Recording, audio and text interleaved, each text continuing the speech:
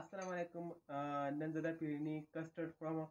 خو ډیر زبردست ټیسټ دی او هغه ذایقه یې ځکه زیاته ښه ده چې دا زموږ نوي میلمانه بلکې زما نوي بابي چې ده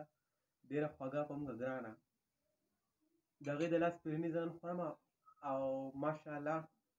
ډېر زیات زبردست پیریني پخ کړه نن بریاني پخ کړې وه هغه هم ډېره زموږ خوښه کړې وه او بس ډېر ښایسته ښایسته سویټ سویټ ډشونه به موږ له پخوي او موږ به یې خورو د خیره.